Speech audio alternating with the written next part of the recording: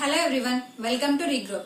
Today we are going to discuss about Hema Durga Jewel County. This is the largest gated community project in Vijayawada with all the international standards and facilities. Jewel County is a residential project offering 2 BHK and 3 BHK flats in Vijayawada. Jewel County is spread across 4.64 acres and this project is located at Kesarapalli in Vijayawada. Jewel County is a residential development by Hema Durga Constructions. The 2 BHK residential flats are with the area of 1554 square units and the 3 BHK residential flats are with the area of 1551 square units. This project is offering 432 flats constructing in 6 blocks. Now talk about the amenities of this project. They are providing us swimming pool, supermarket, multipurpose hall, ATM and pharmacy.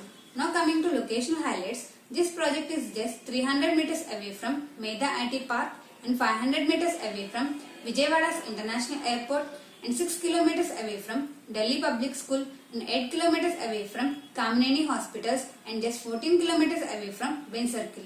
If you have any queries regarding this project, please kindly contact us. Thanking you.